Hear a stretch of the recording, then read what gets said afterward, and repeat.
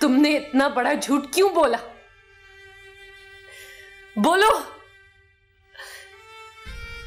मेरे किरदार पर इतनी बड़ी तोहमत तुमने लगाई। क्यों? मैंने तुम्हारा क्या बिगाड़ा था? आई एम रियली सॉरी खिरा सॉरी आई एम तुम्हारे साथ जो कुछ हुआ उसके लिए मुझे बहुत अफसोस है। लेकिन मैं क्या करता? फरीदा आंटी की ऑफ़र थी ही इतनी अट्रैक्टिव सिर्फ़ उन्हीं की वजह से मैं अमेरिका जाके पढ़ने का सबसे बड़ा ख्वाब पूरा कर सकता हूँ। खैर, मेरी ज़िंदगी का सिर्फ़ एक ही मकसद है। सारा को पाना। और सारा को पाने के लिए मैं बिल्कुल वैसा बनना चाहता हूँ कि उसके सारे स्टैंडर्ड्स पे पूरा उतर सकूँ।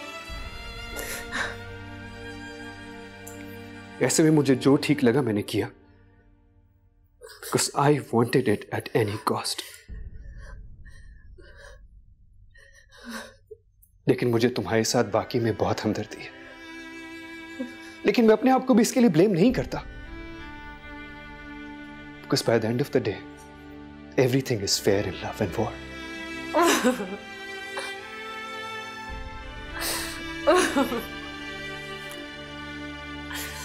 जी, आंटी।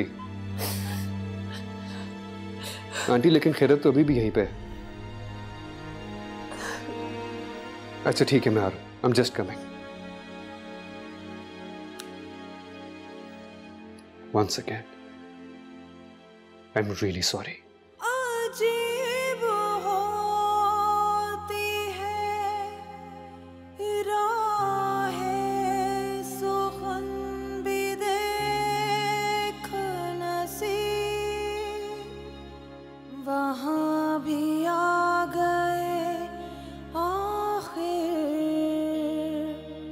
जहाँ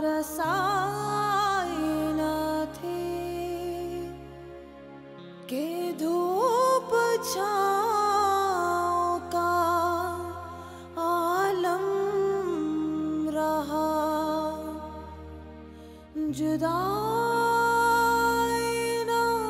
थी वो हम सफ़र था।